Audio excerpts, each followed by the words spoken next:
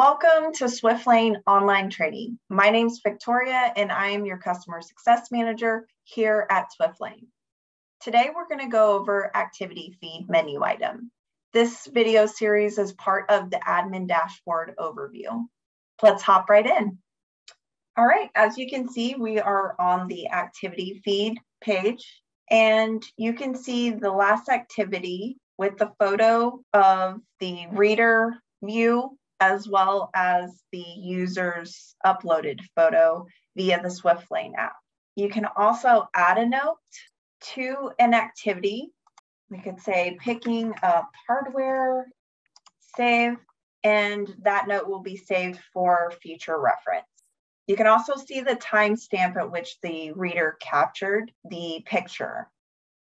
You can filter the reporting here by user access, access point, site, access type, and you can also filter by a start date and end date.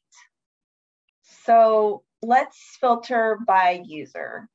Let's filter by myself. And as you can see, the activity feed shows all of my access activity here. Now you can filter by access, and this is by granted, can also see all the denies.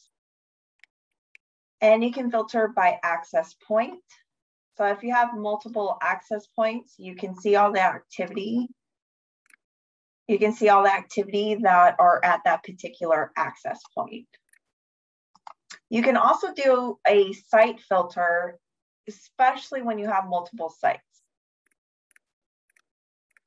And as you can see, the sites that we've selected here and all the activity is noted below.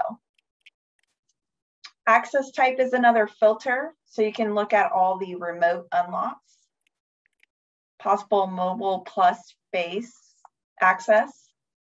You can look at mobile only, face only, and let's say you need to do a reporting based on a start date and time.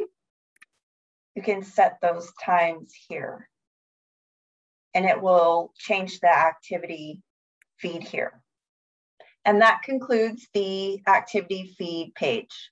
Thank you for joining and see you on the next video.